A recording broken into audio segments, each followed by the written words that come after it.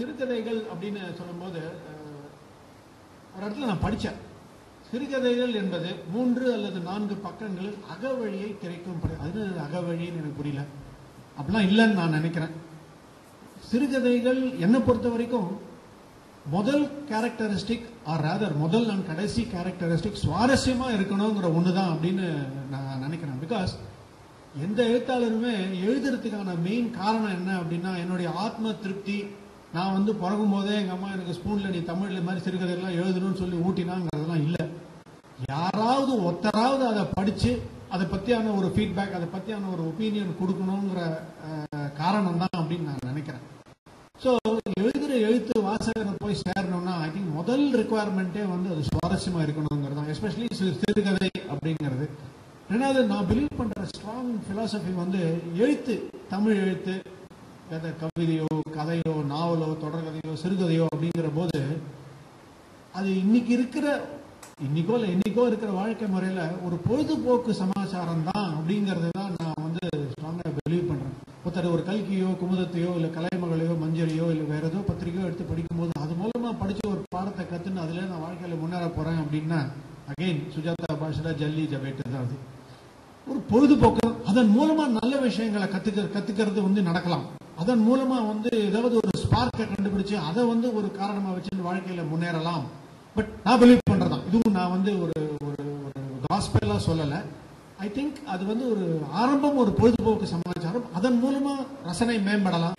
இல்லை ஒரு நல்ல பொழுது போகலாம். நாலு பேருக்கு அது மூலமா சொல்லக்கூடிய விஷயங்கள் அதில் இருக்கலாம். பட் ஆரம்பம் வந்து சுவாரஸ்யம் இருக்கணுங்கிறது என்னோட என்னோட ஸ்ட்ராங் பிலீஃப் இது கூட சுஜாதா மாதிரி அவருடைய பழக்கத்திலேருந்து அவருடைய இன்ஃப்ளூயன்ஸா கூட இருக்கலாம். ஏன்னா அவர் சுவாரஸ்யம்ங்கிறது ரொம்ப முக்கியம் அப்படின்றார் முதல் முதல்ல சிறுகதை ஆரம்பிக்கும் போது ஊசபாடா என்று நாகராஜ சர்மா நாற்காலியில் சாய்ந்து கொண்டார்னா வாசகன் அடுத்த லைன் படிக்க மாட்டான் அப்படின்னு ஆனால் தெருவில் நடந்து போகின்றதானா அவனுக்கு தலையே இல்லை அப்படின்னா டக்குன்னு வாசகன் கெட்ஸ் அட்ராக்டட் அதனால சுவாரஸ்யங்கிறது ரொம்ப முக்கியமான அம்சம் அப்படிம்பார். பட் சுவாரஸ்யம் மட்டுமே சிறுகதைக்கு போருமா அப்படிங்கிறது ஒரு டிபேட்டபிள் கொஸ்டின் அப்படின்னு நான் நினைக்கிறேன்.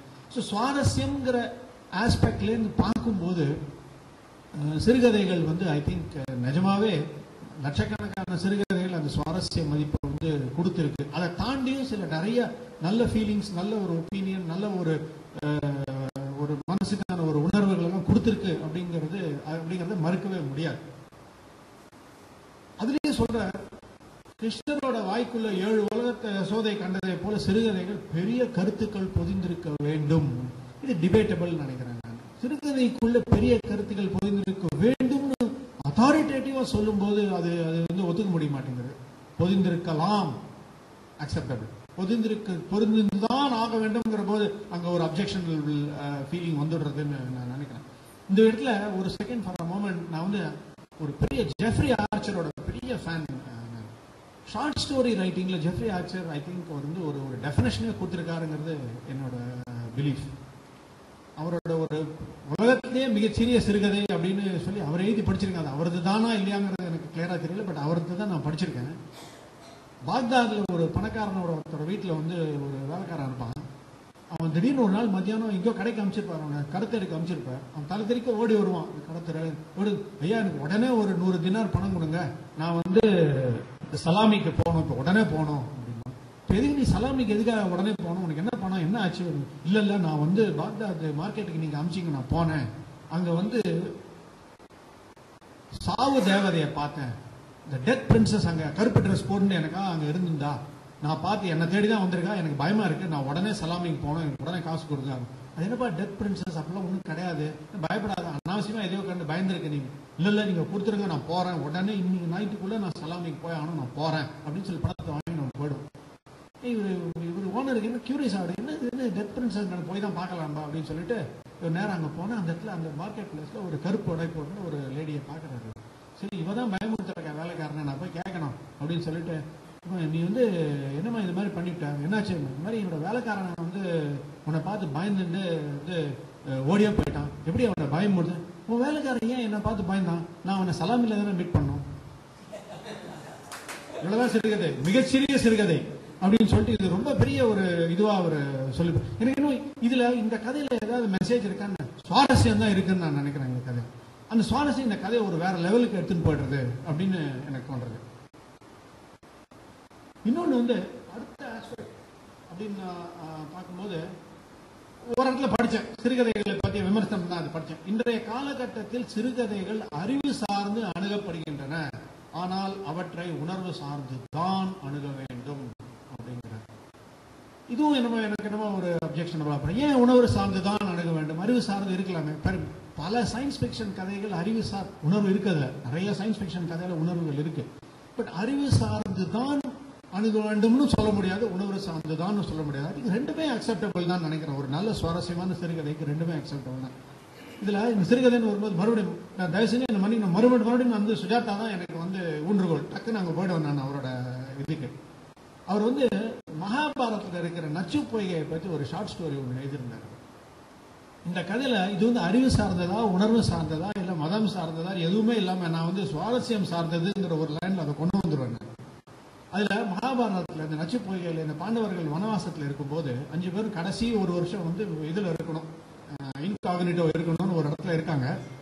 யாருன்னு தெரியாமல் இருக்காங்க. பக்கத்து வீட்டில் வந்து ஒரு இவர் ஒரு பிராமணர் ஒருத்தர் இருக்கார். ஒரு நாளைக்கு அவங்க வீட்டு மான் வந்து ஓடி போயிடுறது உடனே எப்படி பிடிக்கிறதுன்னு தெரியல. பக்கத்து வீட்டில் வாட்ட சாட்டமா அஞ்சு பேர் இருக்காங்க. பிடிச்சிடுவாங்க யாராவது தர்மர் முதல்ல வந்து சகாதேவன் அனுப்புகிறார் அவன் போகிறான் போகும்போது க- கண்ணில் தென்பட மாட்டேங்கிறது. ஒரு நச்சு பொய்கை ஒரு பொய்கை ஒன்று இருக்கு. அதை தாக போய் தண்ணி குடிக்க போகிறான் உடனே ஒரு அசரீரி இந்த மாதிரி தண்ணியை குடிக்காத. நான் கேட்குற கேள்விக்கு பதில் சொல்லிட்டு அப்புறம் தண்ணி குடின்னு. அதெல்லாம் முடியாது. தாகம் எடுக்கிறது குடிக்கிறான். மயங்கி வந்து போயிடும்.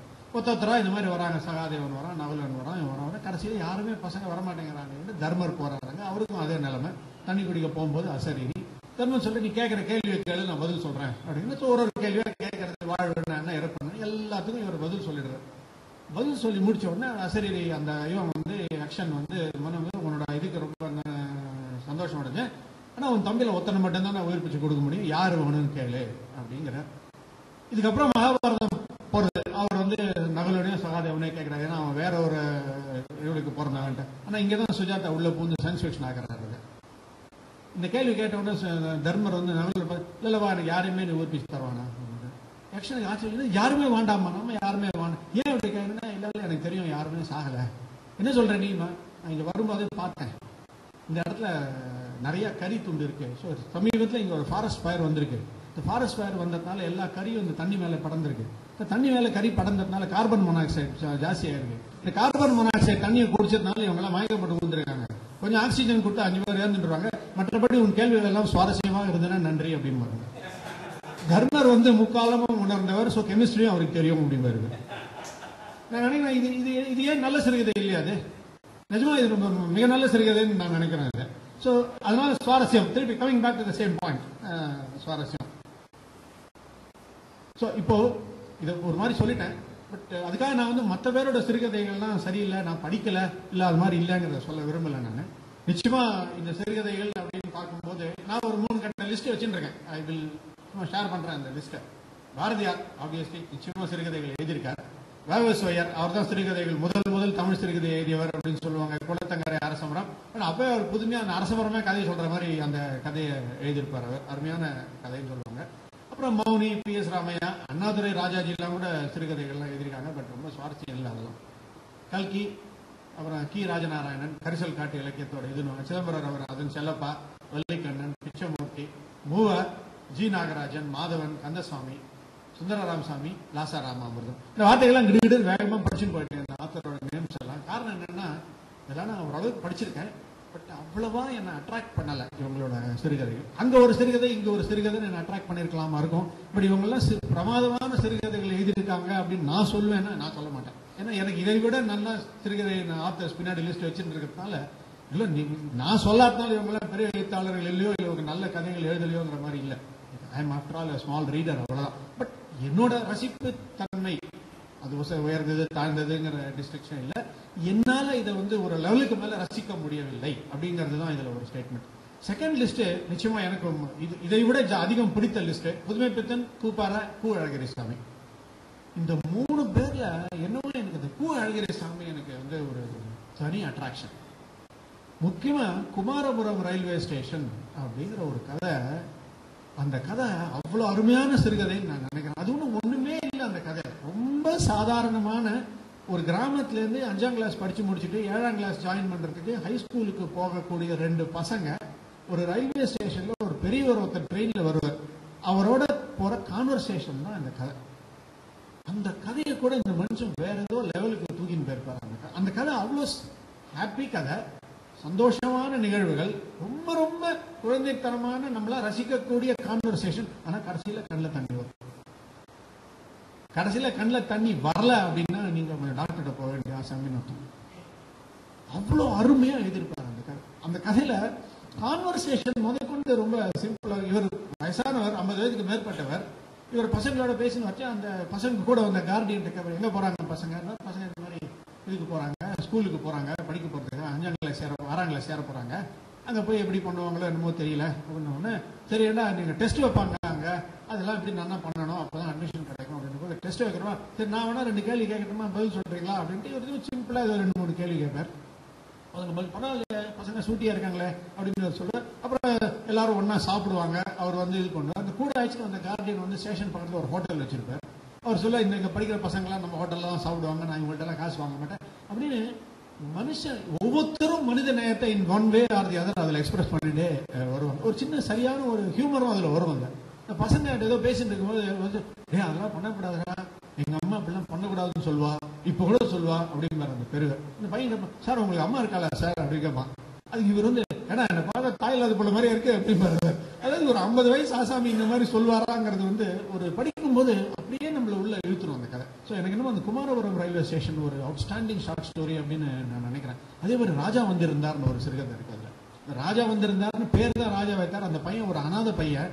அவன் வந்து ஒரு வீட்டுக்கு வந்து அவனை வந்து தீபாவளி அன்னைக்கு காத்தால ஒரு அண்ணாதே அந்த வீட்டுக்கு வருவான். அவங்க அவனை வந்து அவங்களே கஷ்டப்பட்டு இருக்காங்க. ஆனாலும் அவனை வந்து இது பண்ணும்போது கான்ட்ராஸ்டிங்காக பக்கத்தில் ஒரு பணக்கார பையன் ஒருத்தன் அவன் இந்த இந்த வீட்டு பையன் பசங்களை வந்து அவன் சும்மா அவன் இன்சல்ட் பண்ணிகிட்டே இருப்பான்.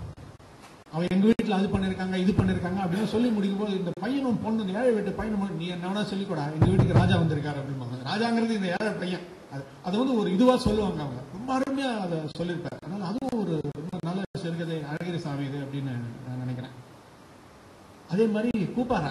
கூப்பாரா கூட சில சமயம் வந்து ஒரு மாதிரி ஷாக்கராக எழுதின்னு போயிருப்பார் அவர். கதை ரொம்ப அருமை. அந்த காலகட்டத்தில் இவர் கொஞ்சம் அட்வான்ஸ்டாகவே திங்க் பண்ணி எழுதியிருப்பார் எஸ்பெஷலி எனக்கு அந்த கதை பேர் ஞாபகம் இல்லை. ஒரு கதையில் வந்து ஒரு காலேஜ் பையன் பக்கத்து வீட்டில் இருக்கிற அவனை விட வயதான ஒரு ஒரு பொண்ணு ஒருத்தியோட அழைப்பில் வந்து ரொம்ப அப்படி கத்தி மேலே நடக்கிற மாதிரி போயிட்டு அவன் தப்பிச்சு வெளில வந்துடுவான் இவர் வந்து அந்த கதையை ஒரு ரதி மன்மதனோட பாயிண்ட் ஆஃப் வியூலேருந்து அவர் எழுதின்னு வருவார் அது. ரொம்ப அருமையாக அந்த கதை. அது ஒரு மாதிரி உருவகத்தோட ரொம்ப பியூட்டிஃபுல்லாக அவர் எழுதி சின்ன ஷார்ட் ஸ்டோரி அது. அதே மாதிரி புதுமை பித்தன் சொல்லவே வேண்டாம். எல்லாருக்கும் தெரியும். கடவுளும் கந்தசாமி பிள்ளையும் அதெல்லாம் வந்து ஒரு ஒரு லேண்ட்மார்க் ஷார்ட் ஸ்டோரிஸ் அதனால அது டெஃபினட்டாக எனக்கு ரொம்ப பிடிச்சது. மூன்றாவது கட்ட லிஸ்ட்டுன்னு நான் சொல்ல வர்றது வந்து ஜெயகாந்தன் ஜானகிராமன் அப்புறம் வந்து அசோகன். ஜெயகாந்தன் சார் மிஸ்டர் மாலன் தான் ஒரு தூரம் ஒரு மீட்டிங்கில் ரொம்ப சொன்னார் அவர். ஜெயகாந்தனுக்கும் சுஜாதாவையும் ஒப்பிடுங்க அப்படின்னும் போது மாலன் சொன்னார் ஜெயகாந்தன் தமிழில் புதிதாக்கினார் சுஜாதா தமிழை புதிதாக்கினார் அப்படின்னு அவர். ரொம்ப அருமையா அதே மாதிரி ஜெயகாந்தனோட தீம்ஸ் எல்லாம் தமிழ்ல அதுக்கு முன்னாடி எழுதப்பட்டதே கிடையாது. அந்த அளவுக்கு மிக மிக அருமையான தீம்ஸ் எல்லாம் எழுதியிருக்கார். எஸ்பெஷலி அவரோட அந்த அக்னி பிரவேசம் கதை வந்து ஏகப்பட்ட பேர் குடலாபரேஷன் பண்ணியாச்சு. அதே சினிமாலாம் வந்து எல்லாரும் அதை பற்றி பேசியாச்சு. அந்த மாதிரியான தீம்ஸ் வந்து அந்த காலகட்டத்தில் யாருமே தொடாத போது இவர் வந்து மிக அருமையாக அதை எடுத்துகிட்டு போய் எழுதினால அவர் வந்து முடிசூடா மன்னன். அவரே ஒருத்தரும் சொன்ன மாதிரி அவர் சினிமா கதையை விட்டுட்டு சினிமாவுக்கு போகும்போது ஒரு நிருபர் கேட்டாங்க அவரை. நீங்க எழுத்துலகத்தில் இவ்வளோ பெரிய ஆசாமி. நீங்க இப்போ சினிமாவுக்கு போறீங்களே. இப்போ உங்களோட இடம் எழுத்துல. யார் எடுக்க போறா? நீங்க நினைக்கிறீங்க? அப்படின்னு கேட்டதுக்கு நான் எழுத்துலக சக்கரவர்த்தி தான் நான். நான் இப்போ டெம்பரரியாக தான் சினிமாவுக்கு போகிறேன் நான் போயிட்டு மறுபடியும் எழுத்துக்கு வருவேன். அதுவரை எழுத்தாளர் ராஜபீடம் காலியாகவே இருக்கும் அப்படின்னு சொல்லுவார் அது அது வந்து நான் அரகண்டா பார்க்கல. கான்பிடென்டா தான் பார்க்கறது. அவ்வளவு எனார்மஸ்லி அண்ட் சுப்ரீம்லி கான்பிடென்ட் அந்த மாதிரி எழுதணும்னா அவர் கையில ஒரு ஆளுமை இருக்க கொண்டு தான் அவர் அந்த மாதிரி சொன்னார். தேர்ஃபோர் ஐ திங்க் அது அவரோட ஷார்ட் ஸ்டோரிஸ் அவரோட எழுத்தை பத்தி வந்து பிரமாதம்ங்கிற ஒரு வார்த்தை தவிர வேற ஒன்றும் சொல்றதுக்கு இல்லை. கான்ட்ரவர்சிஸ்லாம் இருக்கலாம். எப்போ இல்லை கான்ட்ரவர்சிஸ் பட் அந்த கதைகள் அந்த தீம் அது சொன்ன விதம் அதை எடுத்துட்டு போன விதம் அதெல்லாம் வந்து ஐ திங்க் மாஸ்டர் பீஸ் அப்படின்னு தான் நான் நினைக்கிறேன். அதே மாதிரி ஜானிக்கிறான் ஜானகிராமன் பத்தி சொல்லும்போது எல்லாரும் நாவல் தான் சொல்லுவாங்க. மோகம் மக அம்மா வந்தாள் மக மரப்பசு மக அதுல ஆயிரம் கான்ட்ரவர்சிஸ் இருக்கும். பட் அவர் மிக அருமையான ஷார்ட் ஸ்டோரிஸும் எழுதியிருக்கார். நிறைய சில அவருடைய சிறுகதை தொகுப்புகள் வந்து பிரமாதமா இருந்திருக்குன்னு நான் நினைக்கிறேன். இன்ஃபேக்ட் அவரோடது வந்து அக்பர் சாஸ்திரி சிவபரீட்சா சக்தி வைத்தியம் பொட்டுமேளம் சிலிர்ப்பு இது எல்லாமே ஒவ்வொன்றுத்திலும் மகா அருமையான சிறுகதைகள்லாம் அதுல இருக்கு அப்படின்னு நான் நினைக்கிறேன். ரொம்ப ரொம்ப பிரமாதமான சிறுகதை. அதில் அவர் அஃப்கோர்ஸ் எல்லாருக்குமே தெரியும். தஞ்சாவூர் இதை வந்து அருமையாக கொண்டு வந்திருப்பார். ஹியூமரும் அவருக்கு வந்து ரொம்ப அழகாக வரும் அப்படிங்கிறது என்னோட நான் படித்த வரைக்கும் புரிஞ்சுனேன் இன்ஃபேக்ட் ஒரு கதையில் சொல்லுவார் ஒரு வெத்தலை எல்லாம் அந்த அந்த காலத்து தஞ்சாவூர் வீட்டிலலாம் வந்து வெத்தலை வாங்குவாங்க ரெகுலராக அந்த வெத்தலையை கொண்டு வருது ஒரு சாய்பு அவர் தனியாக தோட்டம் வச்சுட்டு இருப்பார். அதுலேருந்து கொண்டு வந்து ஒரு வீடாக வந்து நிறுத்து அந்த வெத்தலையை வந்து கொடுப்பார். ஒரு சமயம் ஒரு வீட்டில் ஒரு நிறுத்து கொடுக்கும்போது அந்த ஓனர் கேட்பார் என்னப்பா இதெல்லாம் என்ன சாய்பு இடம் எல்லாம் சரியா இருக்கா அப்படின்பார் அதுக்கு அவர் சொல்லுவார் என்ன சாமி இப்படி சொல்லிட்டீங்க? எங்க இருக்கிற தராசு தேவலோக தராசு. எழுதின காடுக்கும் எழுதாத காடுக்கும் வித்தியாசம் காட்டுது அப்படிம்பார். அந்த காலத்தில் ஒரு போஸ்ட் கார்டு எழுதி பேனாவால் எழுதி வச்சா அந்த இங்கு டிஃபரன்ஸே அது காட்டுமா அந்த தராசு? அது வந்து எழுதின காடுக்கும் எழுதாத காடுக்கும் வித்தியாசம் காட்டும் சாமி அப்படின்னு ரொம்ப ஒரு இதுவாக சொல்லுவார். ஜானகிராமனுக்கு அந்த ஒரு இது உண்டுன்னு நினைக்கிறேன். அடுத்தது அசோகமித்திரன் அவரை பத்தி சொல்லாம வந்து முடியவே முடியாது. இன்ஃபேக்ட் அசோகமித்திரன் வந்து இந்த ஒரு சமீபத்தில் அறிமுகமானதுக்கு முக்கியமான காரணம் டாக்டர் பாஸ்கரன் இயர் அவர் தான் இன்ட்ரடியூஸ் பண்ணி விட்டார் அவர் பேச முடிஞ்சு அவர் ரொம்ப சாதுவாக உட்காந்துட்டு அமைதியா பார்த்துட்டு அமைதியா சிரிச்சுட்டு இருக்காரு. பட் அவர் கதை மூலமா நம்மளை எதிர்க்கவே அழிச்சுடுவார் அவர் சுத்தம். அந்த மாதிரியான ஷார்ட் ஸ்டோரிஸ் அவர் எழுதியிருக்காரு. அவர் கதை ஆரம்பம் அப்படியே நடந்து படிச்சுட்டே போவோம் நம்ம. ஏதோ கேரக்டர்ஸ் வரும் எல்லாம் நம்ம நேர்லயே பார்த்த கேரக்டர்ஸ் திடீர்னு ஹைதராபாத் சார்மினார் பார் அதுல ஒரு முஸ்லீம் பையன் மொத்தம் வருவான் காலேஜ் பையன் மொத்தம் வருவான் அந்த முஸ்லீம் வீட்டுக்கு இந்த பையன் போவான் எழுதிட்டே இருக்கும்போது சரக்குன்னு எதிர்பாராத சமயத்துல ஒரு கத்தி குத்து விழும். கத்தி குத்துன்னா இந்த ஜெஃப்ரி ஆச்சர் மாதிரி ட்விஸ்டெல்லாம் எல்லாம் இல்ல. அவர் சொல்லக்கூடிய சம்பவங்களை கொண்டு சடார்னு ஒரு இடத்துல முடிக்கும் போது நம்ம வெளில படி இப்ப சொல்லிட்டாரே? அப்படின்னு நம்ம யோசிப்போம். அந்த கேரக்டர்ஸோட ப்ரிவைலிங் மூடில் நம்ம போயிட்டே இருக்கும்போது நமக்கு அது தோணவே தோணாது. ஐ ஆல்வேஸ் இந்த இன்கான்ஸ்பிக்வஸ்லி கான்ஸ்பிக்வஸ்ங்கிற வார்த்தை தான் அவருக்கு சரியா வருமோ அப்படின்னு தோணும். ஏன்னா அந்த கேரக்டர்ஸ்ல அவ்வளவு அழகா மூவ் ஆகிட்டே போகும். சட்டுன்னு ஒரு இடத்துல முடிப்பார். அவருக்கு ஆரம்ப முடிவு எல்லாம் இல்லாம ஒரு ஒரு ஒரு உணர்வை மட்டும் சடார்னு கொடுத்துட்டு டக்குன்னு தாண்டி அவர் மாதிரி போயிட்டே இருப்பார். நம்ம அப்படியே வச்சு முடிச்சுட்டு இருக்கிற மாதிரி ஒரு ஒரு ஃபீலிங் அவர் கொடுத்துருவாருன்னு நான் நினைக்கிறேன். அவர் அப்பேற்பட்ட ஒரு எழுத்தாளர். அவர் வந்து ஒதுக்கிட்டு ஐ தமிழ் சிறுகதையோ தொடர் தொடர்கதை நாவலோ யாராலையுமே பேச முடியாது அப்படின்னு நினைக்கிறேன். நிறைய நிறைய டாக் அவருக்கு ஞானபீடம் கொடுக்கணும்னு I think I think he more than well deserves Jnanpith அவரை மாதிரி எழுத்தாளர்களுக்கு இருக்கும் போதே இந்த மாதிரி ஏதாவது பெரிய அவார்டு கொடுத்தா நல்லாயிருக்கும். நல்லா இருக்கும் அது அந்த விஷயத்தில் ஐ திங்க் அசோகமித்திரனும் ஒரு மாபெரும் ஆளுமை சிறுகதையில் அப்படின்னு நினைக்கிறேன். ஸோ நான் இப்போ வந்து சொல்ல போகிறது வந்து என்னுடைய ரொம்ப பிரத்யேகமான list list of short story writers எனக்கு ரொம்ப ரொம்ப ரொம்ப மனசுக்கு பிடிச்ச நான் ரசித்த எழுத்தாளர்கள் அப்படின்னு பார்த்தா முதல் வந்து எஸ்விவி ஆனந்த விகடன்ல அந்த காலத்தில் வந்து அவர் எழுதின ஷார்ட் ஸ்டோரிஸ்லாம் வந்து ரொம்ப அருமையான ஷார்ட் ஸ்டோரிஸ்னு நான் நினைக்கிறேன். நம்ம வந்து கரிசல் காட்டு இலக்கியம் இன்ஃபேக்ட் எங்கிட்ட ஒரு லிஸ்ட் இருக்கு. அதில் கூட மொத்தத்திற்கும் வந்து ஒரு ஒரு இது கொடுக்குறாங்க. பட்டம் கொடுத்து வச்சிருக்காங்க. அது எங்கே யார் கொடுத்தாங்கன்னு தெரியல எனக்கு.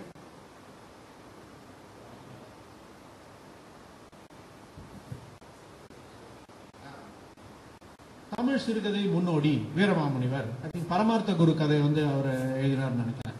தமிழ் சிறுகதையின் தந்தை தமிழ் முதல் சிறுகதை குலத்தங்கன். இந்த மாதிரி ஃபர்ஸ்ட் டாப் டாப் டென் அப்படிங்கிற மாதிரி கொடுத்துன்னு வரும்போது கரிசல் கதைகளின் தந்தை வட்டார கதைகளின் முன்னோடி அப்படின்னு ராஜநாராயணன் சொல் அது கரிசல் காட்டுக்கு மட்டும் என்ன ஸ்பெஷல் மத்ததெல்லாம் கிடையாது? வட்டாரம் கிடையாது? மதுரை எல்லாம் வட்டாரம் இல்லையா? ஏன் அப்படி அது மாதிரி இந்த இதுல வந்து எனக்கு தெரியல. I think விஷயம் தெரிந்தவர்கள் பாசிபிளி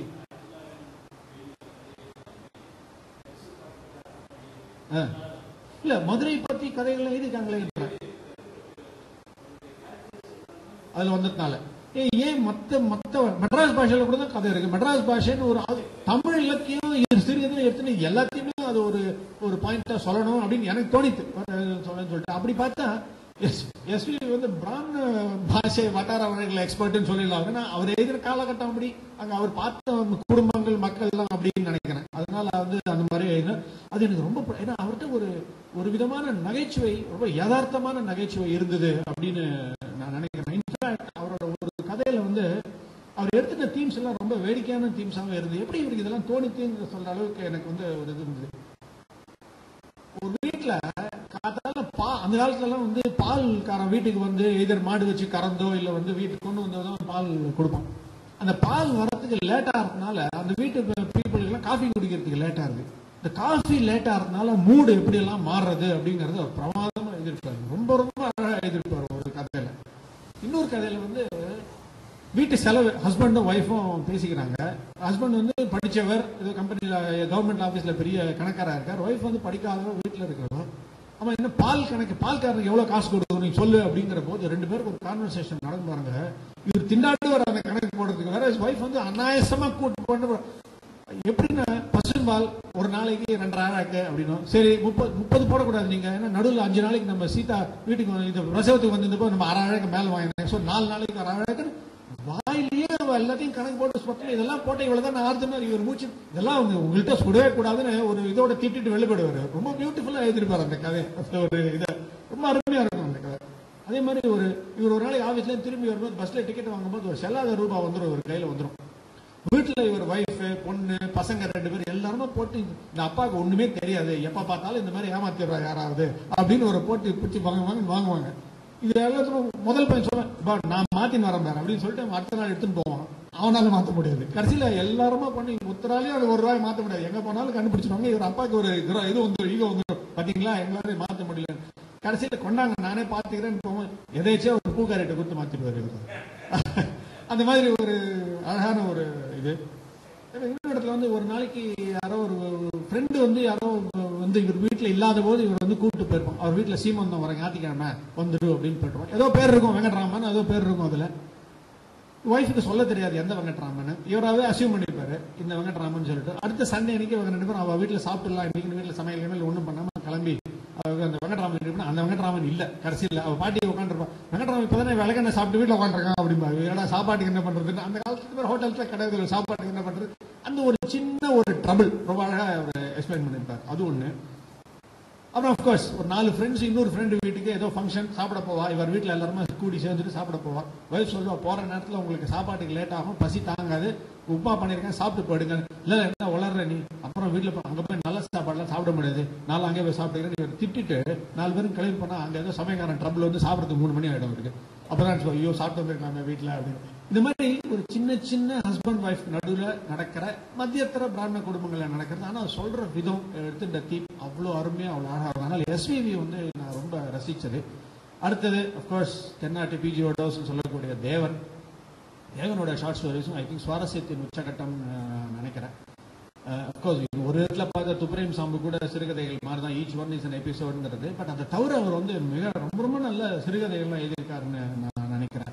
இன்ஃபேக்ட் அந்த சிறுகதை தொகுப்பு இந்த சின்னஞ்சிறு விஷயம் பள்ளிசாமியின் தூக்கு பல்லாரி ராவ் கதைகள் ராஜியின் பிள்ளை அப்படிங்கிற தொகுப்பெல்லாம் வந்து ரொம்ப அருமையான ஷார்ட் ஸ்டோரிஸ்லாம் அதுல இருக்கு அப்படின்னு என்னோட ஒப்பீனியன் அது. அவர் ஒரு இடத்துல ரொம்ப அவரோட அவரோட நகைச்சுவையும் வந்து ரொம்ப subtle at the same time ரொம்ப ப்ராக்டிக்கல் அதில் ஒன்று சொல்லுவார் ஒரு பெரியவர் ஒருத்தர் சாக கிடப்பார். ஸோ அவர் வந்து பசங்க எல்லாம் கூப்பிட்டுப்பா நம்ம வர வேண்டிய பணத்தெல்லாம் சொல்லிடுறப்பா நோட் பண்ணிக்கங்க அப்படின்னார் அவர் சொல்லுவார் சரிப்பா ஆமா இந்த மூணாக்கானா பாக்கி முந்நூற்றி தொண்ணூத்தொம்பது ரூபாய் சரி. அப்புறம் இந்த வேலை கோதண்டம் பாக்கி ஒரு எழுபத்தஞ்சு ரூபாய். ஆ அடுத்தது அப்புறம் வடிகடை வெங்கடசாமி ஒரு ஆயிரத்தி எழுநூறு ரூபாய். சரி அப்புறம் நான் கொடுக்க வேண்டியது ஆயிரத்தி தொண்ணூறு. ஐயோ அப்பாவுக்கு நினைவு தச்சு போச்சு. வளர்றாரு அப்படின்னு பையன் கொடுக்கறது சொன்னவங்க. ஸோ அந்த மாதிரி ஒன்று சொல்லுவார் இன்னொரு இடத்துல ஒரு கதையில சொல்லுவார் வந்து ஒருத்தர் வீட்டில் கிணறு வெட்டியிருப்பார். கிணறு வெட்டிட்டு அவர் வந்து எல்லா- அவருக்கு ஒரு அந்த காலத்து வீடு கட்டுவார் கிணறு வெட்டியிருப்பார். அதுக்கு வந்து ஒரு ஒரு டென்ஷன் வந்துடும் இந்த காலம் நம்ம கிணறு தண்ணி நல்லா இருக்கா நல்லா இல்லையா அப்படின்ட்டு. அதுக்காக ஆஃபீஸில் இருக்கிற ஒரு சீனியர் ஒருத்தரை கூட்டு போய் நீங்கள் வந்து பார்த்து சொல்லுங்க அப்படின்னு சொல்லி ஆக்ஷன் போடுவார். அவர் வந்து கிணறு தண்ணியை வச்சு குடிச்சிட்டு அவர் சொல்லு ஓய் நீங்கள் ஸ்ரீதர் ஐயாவால் விட ஒரு படி மேலே அப்படின்னு என்ன ஒன்றும் புரியலையே ஸ்ரீதர் ஐயாவாலாவது கணத்துல கங்கையை தான் வர வச்சார் நீர் சமுத்திரத்தையே வர வச்சிட்டீர் அப்படின்னு அவ்வளோ உப்பு தண்ணி அதுல அங்க ஸோ ரொம்ப அழகா அது வந்து ஹியூமரை வந்து பியூட்டிஃபுல்லா எடுத்துட்டு போயிருக்காரு. ஸோ அதனால தேவன் ஐ திங்க் ஆல்சோ எனக்கு வந்து ரொம்ப ரொம்ப பிடிச்ச ஒரு எழுத்தாளர். அஃப்கோர்ஸ் அவரோட தொடர்கதைகள் கோமதி மாலதி கோமதியின் காதலன் அப்புறம் வந்து ஸ்ரீமான் சுதர்சனம் வெஸ்ட வேதாந்தம் எல்லாம் ஒரு வேற லெவல் ஜஸ்டிஸ் ஜெகநாதன் அப்புறம் அதெல்லாம் ஒரு வேற லெவல் பட் சிறுகதைகள்னு வரும்போது கூட வந்து தேவன் ஐ திங்க் எனக்கு நான் ரொம்ப ரசிச்சிருக்கேன். நல்ல சிறுகதை எழுத்தாளர் அப்படிங்கிற கேட்டகரியில் அவரை கொண்டு வரலாம்னு நினைக்கிறேன். அப்கோர்ஸ் நான் கல்கி எல்லாம் இதில் சொல்லலை. கல்கி எனக்கு என்னமோ கல்கி வந்து சிறுகதைகளை விட அவர் நாவலில் தான் வந்து அவரோட கிரேட்னஸ் இருக்குன்னு நான் நினைக்கிறேன். என்னால் அந்த அளவுக்கு இந்த ஓ மாம்பழமே அப்புறம் வந்து இந்த கனையாழியின் க- கணையாழியின் கனவு அப்புறம் வந்து பீனை பவானி திருக்கு திருவழுந்தூர் சிவக்கொழுந்து அதெல்லாம் எழுதியிருக்காரு பட் அவ்வளவா என்னால் அதை ரசிக்க முடியல. டிஸ்கிரிப்ஷன்ஸ் எல்லாம் நல்லா இருக்கும் பட் அவ்வளவா என்னால் அதை ரசிக்க முடியும் என்னால் பர்சனலாக ரசிக்க முடியல. அது காரணம் எனக்கு சொல்ல தெரியல. அது. அப்புறம் நான் இன்னொரு சுஜாதா கடைசியாக தான் நான் வரப்போறேன்.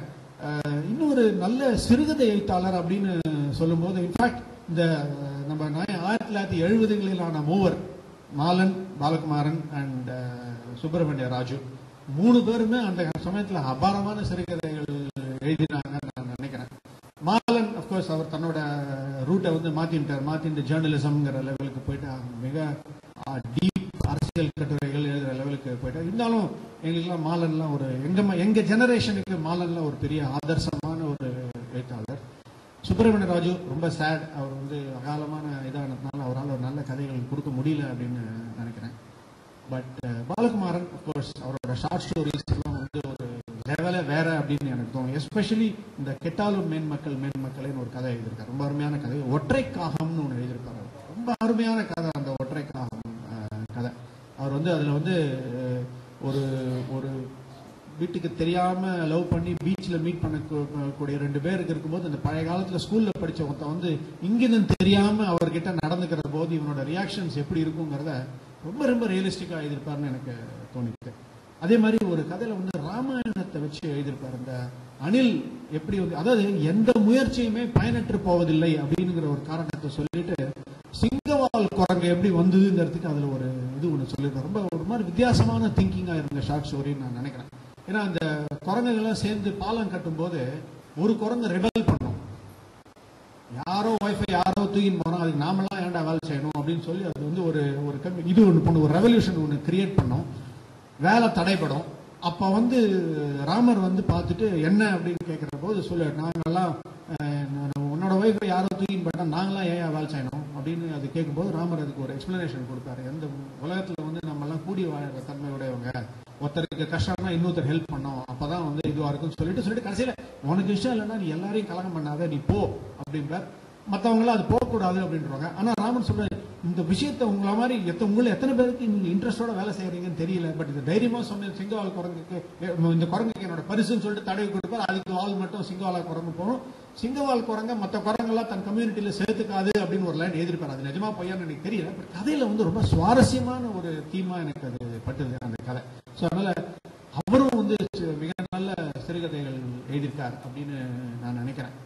So my most favorite last author is Sujatha I still think he is the master of short story ரைட்டருங்கிறது என்னுடைய என்னுடைய ரொம்ப ஸ்திரமான அபிப்பிராயம். அஃப்கோர்ஸ் யாரையும் நான் ஒத்துக்க சொல்லி வற்புறுத்த போகிறது இல்லை பட் அவரோட சிறுகதைகள் ஐ மீன் சில இடத்துல பேசி நானே சில நிறைய திட்டம் வாங்கியிருக்கேன். அந்த மாதிரியான சில சிறுகதைகள் தமிழில் எழுதப்படவே இல்லை அப்படிங்கிற அளவுக்கு நான் வந்து சொல்லக்கூடிய அளவுக்கு நான் இம்ப்ரெஸ் ஆன சிறுகதைகள் அவரோடது. ஒரு சமயத்தில் அவரை பற்றி பேச வரும்போது சமூக பார்வையே அவர்கிட்ட கிடையாது. அவர் வெறும் சுவாரஸ்ய மதிப்புக்காக மட்டுமே எழுதுவார்னு சொல்லுவாங்க. அதை கூட நான் மறுத்திருக்கேன். அவர் சமூக பார்வையோட எழுதின சிறுகதைகள்லாம் இருக்கு. முக்கியமாக மகாபலின்னு ஒரு கதை அவரோடது. ஐ திங்க் அது ஒரு மாஸ்டர் பீஸ் நினைக்கிறேன் நான். நகரம்னு மதுரை ஆஸ்பத்திரியை வச்சு அவர் எழுதின ஒரு கதை. அதெல்லாம் அதீதமான சமூக பார்வை அந்த கதையில் உண்டு அப்படிங்கிறது என்னுடைய அபிப்பிராயம். மத்தியமர் எல்லாமே அப்படிப்பட்ட கதைகள் தான் ஆக்சுவலாக எஸ்பெஷலி அந்த மகாபலியில அந்த கடைசி வரி அவர் அந்த அந்த டெரரிஸ்டை வந்து ஷூட் பண்ணி அந்த மகாபலி பௌர்ணமி அன்னைக்கு மகாபலிபுரம் பீச்சில் அந்த டெரரிஸ்ட் ஷூட் பண்ண அப்புறம் இந்த இந்த வயசான ப்ரொஃபசர் வந்து சொல்லுவார் நாங்கெல்லாம் சுதந்திரத்துக்காக உழைச்சோமே இந்த நாடு சுதந்திரமா இருக்கணும்னு தானே உழைச்சோமே ஆனால் எங்கே நாங்கள் தப்பு பண்ணினோம்? நம்முடைய தேசத்து இளைஞர்களை நாமே ஒரு பௌர்ணமி இரவில் கடற்கரை வாசலில் சுட்டுக் கொள்ளும் அளவுக்கு இந்த நாட்டில் எப்படி தப்பு நேர்ந்தது அப்படின்னு ஒரு ஒரு வருத்தத்தை அவர் வந்து சொல்வார். அது ரொம்ப அருமையான ஒரு திங்கிங் நான் நினைச்சேன். அதே மாதிரி ஒரு லட்சம் புத்தகங்கள்னு அவர் ஒன்று எழுதினார். அந்த இலங்கை யாழ்ப்பாணத்தில் அந்த லைப்ரரியை எரிச்ச போது அந்த புக்ஸ் எல்லாம் எரிச்சது வந்து ஒரு மனசு ஒரு இதுல இங்க வரும். ரொம்ப பியூட்டிஃபுல்லா சொல்லியிருப்பார் அந்த கதையில். அப்போ அந்த ஒரு கேரக்டர் சொல்லுவான் சார் ஒரு லட்சம் புத்தகங்கள் எரிச்சிட்டாங்க சார். சார் கிட்டத்தட்ட அறுபது எழுபது லட்சம் தமிழ் வார்த்தைகள் எரிஞ்சு போச்சு சார் அப்படின்னு. ரொம்ப அருமையா இருந்தது எனக்கு அந்த அந்த வார்த்தை பிரயோகம் அந்த இடத்துல அருமையா இருந்தது. சுஜாதா அந்த விஷயத்துல ஷார்ட் ஸ்டோரியில அவர் வந்து பல ஜால விதைகள் பண்ணியிருக்காருன்னு நான் நினைக்கிறேன். அதுவும் அவர் வந்து ரொம்ப அழகாக சொல்லுவார் ஏதாவது டீட்டெயிலாக எழுதாத பிரெவிட்டி இல்லைன்னா கையை ஒடி அப்படிம்பார். அவரோட ஃபேமஸ் ஸ்டேட்மெண்ட் எல்லாத்தையுமே ப்ரீஃபாக எழுதுங்க அனாவசியமாக பெருசு பண்ணாத அப்படிங்கிறது. ஏன்னா அவர் அதில் வந்து மாஸ்டராக அவர் இருந்தாருங்கிறது என்னுடைய அபிப்பிராயம். அது நகைச்சுவையிலையும் அவர் வந்து ரொம்ப அருமையான ஒரு சட்டில் நகைச்சுவை லைட்டா அப்படி குத்திட்டு அவர் பாயிண்டா இருப்பாருன்னு நிறைய விஷயத்துல அவரோட கதைகள் அது வந்து நம்ம சொல்லலாம். இன்ஃபேக்ட் ஒரு ஒரு கதையில வந்து அவர் சொல்லும்போது ஞாயிற்றுக்கிழமை மணிக்கு ஒருத்தர் வீட்டுக்கு விசிட் பண்றதுக்கு போறார். அவர் வாசல்ல வந்து வேறு வேஷம் மட்டும் கட்டி ரிலாக்ஸ்டா உட்காந்துருக்கார் இவங்க எல்லாம் பார்த்தோன்னே பார்த்த உடனே அவர் ம- மடமடன்னு உள்ள போயிட்டு ஒரு பனியனை போட்டு எழுந்து வர இதை ஒரு நாலு சென்டென்ஸாக எழுத வேண்டியதை அவர் வந்து எழுதும்போது ஞாயிற்றுக்கிழமை நாங்களாம் அவர் வீட்டுக்கு போனோம். எங்களை பார்த்ததும் சலுகையாக பனியன் போட்டு கொண்டு வந்தார்னு எழுதிருப்பாரு ஒரே லைன்ல முடிச்சிருக்காரு அதை டக்குன்னு. ஒரு ஷார்ட் இதுல ஒண்ணு பண்ணுவார். அதே மாதிரி இன்னொரு இடத்துல வந்து வீட்டுல வந்து புல்புல் தாரா வாசிப்பார். பாட்டிக்கு பிடிக்காது. பாட்டி வந்து இதெல்லாம் வச்சுக்க கூடாது துரத்தி விட்டு- உன்னை வெட்டி விட்டுறேன் அப்படிப்பார் ஸோ பயந்துட்டு அடுத்த வாரம் அவர் எழுதும் அந்த வரிகள் இப்படி இருக்கும். யாரும் இல்லாத ஒரு ஞாயிற்றுக்கிழமையில் பழைய பேப்பர்காரனை விழித்து அந்த புல்புல் தாராவை விலைக்கு போட்டு விட்டேன். அப்படின்னு போட்டு பிராக்கெட்ல வீண் இருக்குதுங்களா அப்படின்னு அவன் கேப்பான் வீண் இருக்கு அப்படின்ட்டு. அவனோட கவலை அவனுக்கு. வியாபாரம் பண்ணணுமே அப்படின்ட்டு. வீட்டுல வீண் இருக்குதுங்களா அப்படின்னு கேட்பான் அவன். ஸோ அந்த மாதிரி ஒரு இதுல வந்து ரொம்ப அருமையா அவர் பண்ணிருப்பார் அதே மாதிரி வார்த்தை பிரயோகங்கள் அப்படிங்கிற விஷயத்துல கூட வந்து எனக்கு என்னமோ சுஜாதா வந்து எல்லாரையும் அதிக லெவலில் தாண்டி அவர் வந்தார் அப்படின்னு நான் நினைக்கிறேன். அஃப்கோர்ஸ் அவர் கொஞ்சம் கிராஃபிக்கல் ரைட்டிங்கா பண்ண முதல் முதல்ல ஏர்லி டேஸ்ல நைலான் கயிறு மாதிரி சமயத்திலலாம் அவர் கொஞ்சம் இந்த கிமிக்ஸ் எல்லாம் பண்ணியிருந்தார். இறங்கினான் அப்படி இப்படி படியெல்லாம் போட்டு இறங்கினான் எழுதியிருந்தார். பட் பின்னாடி அது ரொம்ப பாலிஷ்டா அவர் பியூட்டிஃபுல்லா எழுதினார்னு நான் நினைக்கிறேன். ஒரு கதையில ஷார்ட் ஸ்டோரி தான் நினைக்கிறேன். இந்த ஒரு பொண்ணு பெங்களூர்ல அந்த பொண்ணு வந்து ஒரு யங் லேடி வந்து பஸ்ல ஏறி அவர் அந்த பஸ் கூட்டத்தில் இடம் கிடைக்காம அதை கையால் பிடிச்சிட்டு அப்புறம் வந்து பர்ஸை வாயால் பர்ஸை பிடிச்சி திறந்து டிக்கெட் வாங்குறா. ஒரு கிழவர் ஒருத்தர் வந்து அவருக்கு நீ உட்காரமான இடம் கொடுக்குறாரு இவர் வேண்டாம் அப்படிங்கிறா.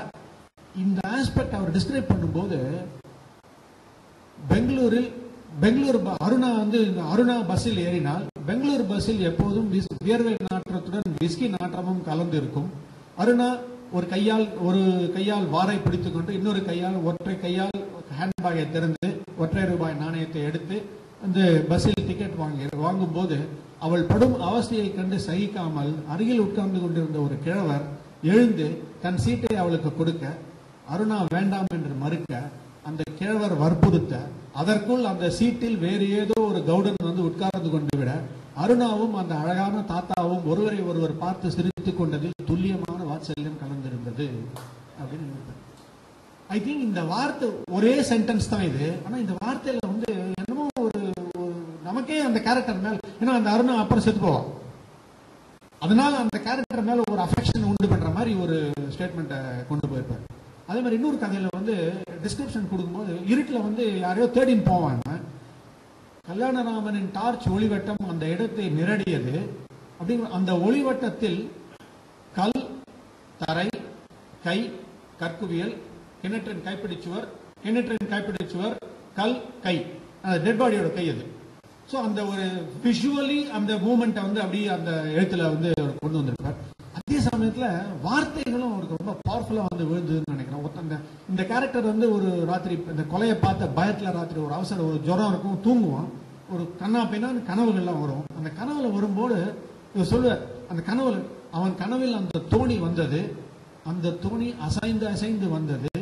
வட்ட நிலா பின்னணியில் வண்ண ஜரிகை நல ஜலத்தில் அந்த தோணி அசைந்து வந்தது. எங்கும் இருட்டு. கரியை போல இருட்டு மையை போல இருட்டு சாவை போல இருட்டு.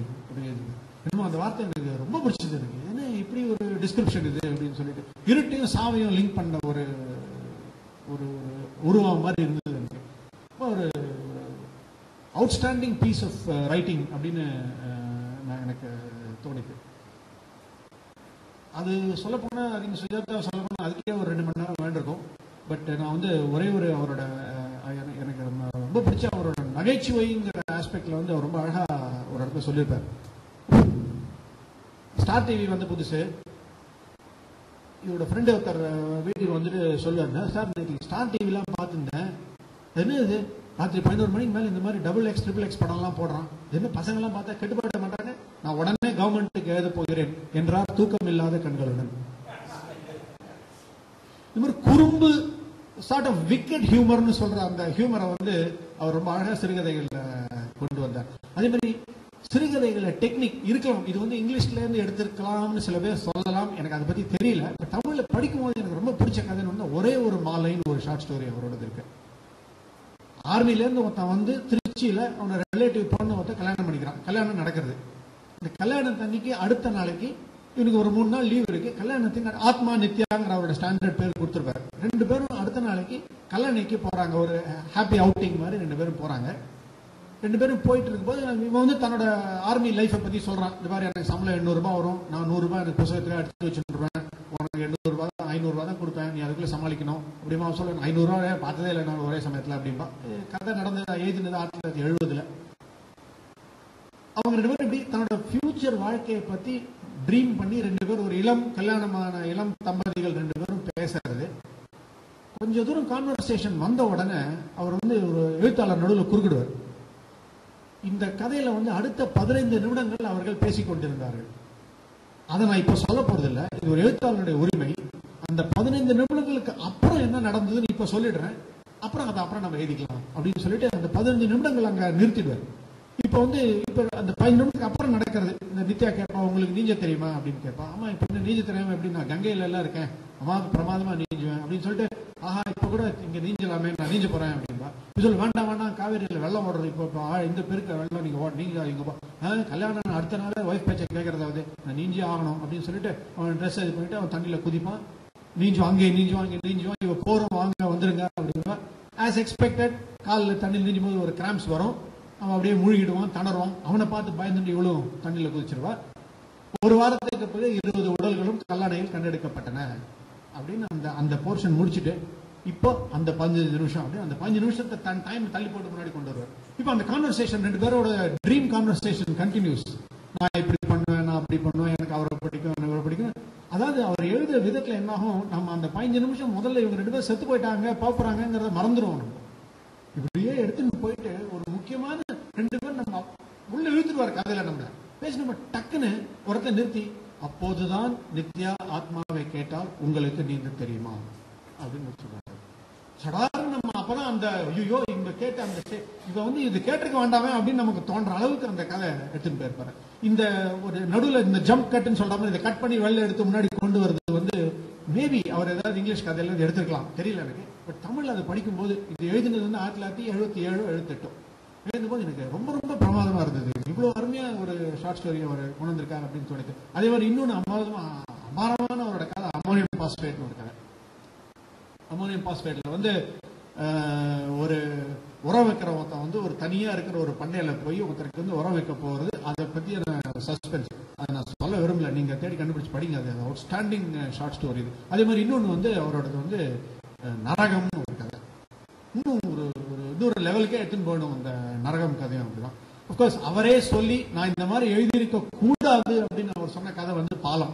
ஏன்னா பாலத்துல வந்து அவர் வந்து மர்டரை ஜஸ்டிஃபை பண்ணியிருப்பார். அது ஒரு கேரக்டர் வந்து மர்டர் பண்ணி தப்பிச்சிடும் அந்த கதையில். பாலிட்டிக் ஜஸ்டிஸ் கொடுக்காத ஒரு கதை பண்ணிருக்கூடாது ஆனா அந்த கதை எழுதப்பட்ட விதம் வந்து ஐ திங்க் அது ஒரு ஷார்ட் ஸ்டோரி ரைட்டிங்லேயே அது ஒரு தனி டெஃபினேஷன் அப்படின்னு நான் நினைக்கிறேன். ரைட் ஐ திங்க் நான் நிறைய பேசிட்டேன்.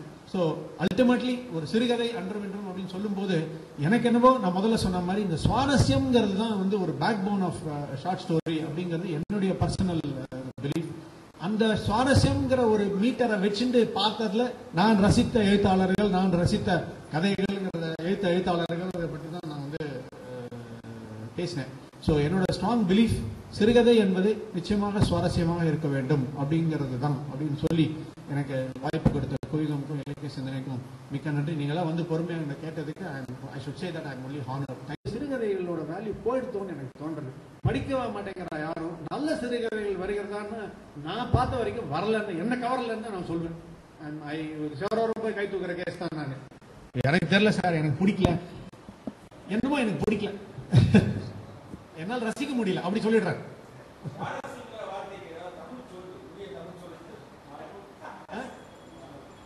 ஆர்வம். ஆமா, ஆர்வத்தை தூண்டும் வகை. ஆர்வத்தை தூண்டும் வகை. ஆமா, அப்படி சொல்லலாம். ஆமா கரெக்ட் ஈர்க்கக்கூடிய ஈர்க்கக்கூடியன்னு சொல்லலாம். ஆமா ஈர்ப்பு ஈர்ப்புன்னு சொல்லலாம்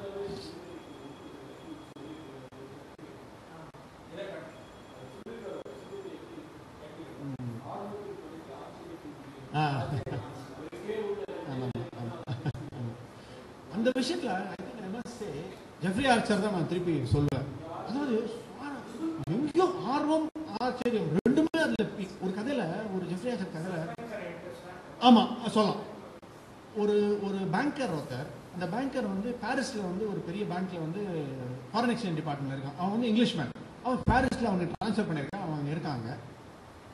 அவனுக்கு எப்படியாவது போர் அடிக்கிறது அவன் பாரிஸ் லைஃப் நம்ம எப்படியாவது லண்டனுக்கு போயிட்டா நல்லா இருக்கும் அப்படின்னு யோசிச்சுட்டு இருக்கான் ஒரு பேங்க் மீட்டர்ஸ் மீட் ஒன்று ஒரு bankers meet international bankers meet ஒன்றுக்கு போகும்போது அங்கே ஒரு பிரிட்டிஷ் பேங்கோட சேர்மன் அவர் வர்றார் அந்த இதுக்கு. இல்ல சாரி பிரெஞ்சு பேங்கோட சேர்மன் வர்றார்.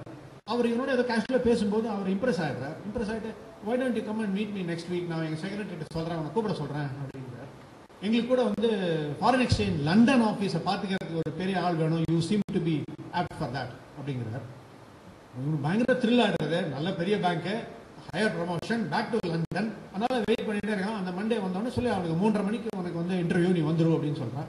ஸோ இவன் அந்த கணக்கெல்லாம் கரெக்டாக கணக்கு போடுறான் கிளம்பி போகிற இடத்துல இருந்து கீழே வந்து இப்போ சப்வே ஸ்டேஷனுக்கு வந்தாக்க சரியா ரெண்டு நாற்பத்தஞ்சுக்கு ஒரு ட்ரெயின் இருக்கு. அதை பிடிச்சா மூணு பத்துக்கு அந்த ஆஃபீஸ் போயிடலாம். நடக்கிறதுக்கு அஞ்சு நிமிஷம். மூணு பத்துக்கு அங்கே போயிடலாம். பதினஞ்சு நிமிஷம் டுவெண்ட்டி மினிட்ஸ் முன்னாடி போயிடும் ஆசுவாசப்பட்டு இன்டர்வியூ போகிறது சரியா இருக்கும். பிளான் பண்ணுறான் ஸோ டூ ஃபார்ட்டிக்கு பாரிஸ் சப்வே ஸ்டேஷனுக்கு வந்து நிற்கிறான் ட்ரெயினுக்காக வெயிட் பண்ணிட்டு இருக்கான். இவன் ட்ரெயின் வரல. வெயிட் பண்ணுறவங்க எதேச்சியாக பார்த்தா எதிர்த்த பிளாட்ஃபார்மில் வெரி வெரி பியூட்டிஃபுல் அண்ட் அட்ராக்டிவாக ஒரு லேடி நின்று சமம் ஹி கெட்ஸ் அட்ராக்டட் அவளே பார்த்துட்டு இருக்கான். அவளும் இவனை பார்க்குறான் ஒரு மாதிரி லேசாக ஒரு ஸ்லைட் ஸ்மைல் ஒன்று கொடுக்குறான் இவனும் சிரிக்கிறான் பட் சம்பவம் ஹி ஃபீல்ஸ் அட்ராக்டட் ஒன்றுமே இல்லை நல்லா ஃபர்ஸ்ட் ஸ்ட்ரைக் அவ்வளோதான் பிடிச்சிருக்காங்க. பார்த்துன்னு இருக்கேன் டைம் டூ uh, ஃபைவ் ஐயோ நம்ம ட்ரெயின் வந்துட்டுனா நம்ம போயிடும் அவ ட்ரெயின் வந்துட்டு அவ போயிடுவாளே அப்படின்னு பார்த்துட்டு இருக்காங்க. பார்த்துட்டு இருக்கும்போது என்னது இவனோட ட்ரெயின் வந்துருக்குது ஐயோ ட்ரெயின் வந்துட்டு அப்படிங்கிறது அங்கேயும் ட்ரெயின் வந்துருது. ஓ எப்படிதான் அவளும் போயிடுவாளே அப்படின்னு யோசிக்கிறான். என்னமோ இவனுக்கு ஒரு இவ்வளோ முக்கியமான ஃபியூச்சர் இருக்கு லைஃப்ல இவ்வளோ அவன் எதிர்பார்த்ததெல்லாம் கிடைக்க போறது ஆனா அவன் என்ன பண்றான்? அந்த ட்ரெயினில் ஏறலாம். ஃபுல்லாக வெயிட் பண்ணிடுறாங்க அந்த அப்பதான் கரெக்ட் இந்த ட்ரெயின் யாராவது வெயிட் பண்ணும்போது ஏதாச்சும் அந்த இடத்துல ஒரு ட்ரெயின் வந்துடுது. ஐயோ இந்த ட்ரெயினையும் நம்ம மிஸ் பண்ணிட்டோம். அந்த ட்ரெயின் வந்து அவளும் போயிடுவாளேன்னு பார்த்துட்டே இருக்கிட்ட அந்த ட்ரெயினும் கிளம்பி போயிடுறது. அவன் அங்கேயே இருக்கான். அதுக்கு அடுத்த லைன் என்ன தெரியுமா? அவன் பேர் ரிச்சர்டு அது பேர் அவனுக்கு. இப்ப ஜெஃப்ரி ஆச்சர் உள்ளவர். Richard and லாராவுடைய